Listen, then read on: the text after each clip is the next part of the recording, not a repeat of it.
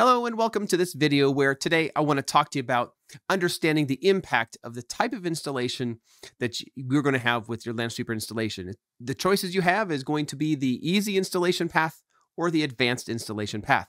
And of course, besides the typical advanced installation paths that allow you to modify the ports for HTTP or HTTPS, uh, the installation path and, and the database path, there's a deciding factor when it comes down to the the type of uh, database that you want to install here. The database is going to be that key piece.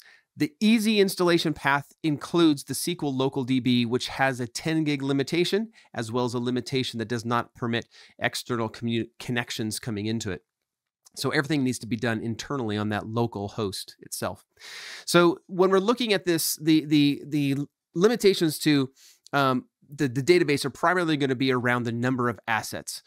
By default, typically a single asset is about one megabyte. So 10,000 assets, you're looking at about a 10 gig database.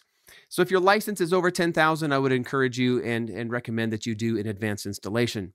If you have an installation that has roughly 6,000 assets, you're getting pretty close to that point where you probably want to start considering having a second installation of Lansweeper, excuse me, a second, not a full installation, but a separate scanner installation of Lansweeper that separate scanner can help do some load balancing and help to, to, to alleviate some maybe some scanning latencies and other issues that might be going on. The typical um, the the typical number of assets we recommend that you scan is about four to six thousand assets on a single scan server. So you start getting to that upper end of six thousand.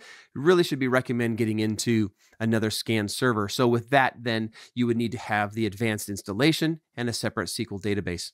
So I, I think honestly that that is going to be the biggest deciding factor when you're coming into which installation is going to be right for you, which installation method, the advanced or the easy, is really going to be dependent upon that asset and uh, the asset count in the SQL database.